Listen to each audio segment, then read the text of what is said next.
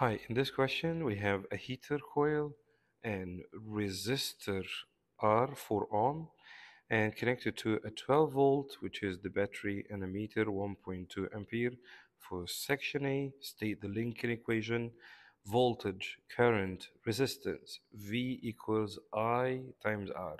R equals V over I. I as current voltage over resistance. Double I calculate as a command word voltage which is 4 ohm um, sorry across the 4 ohm resistor. Voltage equal I times R.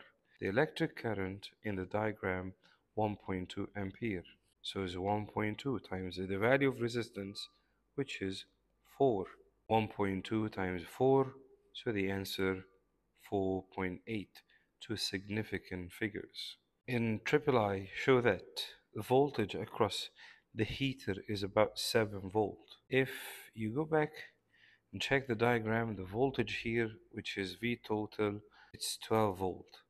And the voltage across the resistor, which is 4.8 volt. This is V across R.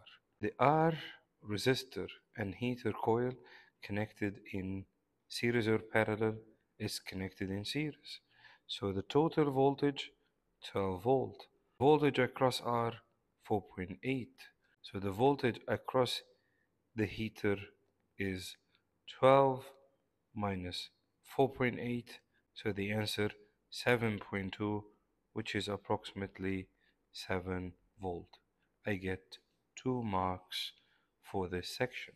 The last section or before the last section 3 marks we have calculate the energy transfer to the coil in 5 minutes.